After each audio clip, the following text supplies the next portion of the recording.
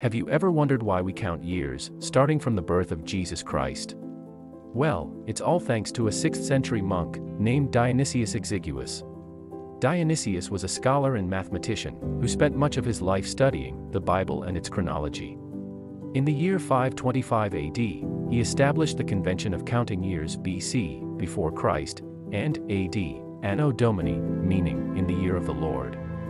This system has been used ever since, to mark the passing of time, and it's still in use today. So the next time you check the date, remember that you're using a system that was established by a monk over 1,500 years ago.